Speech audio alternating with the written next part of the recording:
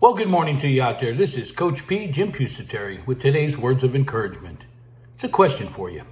Is it time you change your story? What is your story? You see, I contend most people have a negative story. They always dwell on the negative things in their life and they make that their story. And that's why they never can move forward. That's why they can't master the three phases of achievement, passion, goal setting, and mindset because they're stuck. They've got this mind block because they have committed in their self talk. They've built their story. And I think it's time you change your story. Become a growth mindset person, a positive mindset person, one that's always looking to move forward. For the rest of today's podcast, you can hear the full version at inspiringthem.com forward slash blog or wherever you download your podcast. What do you say we have a great day today? And let's move forward.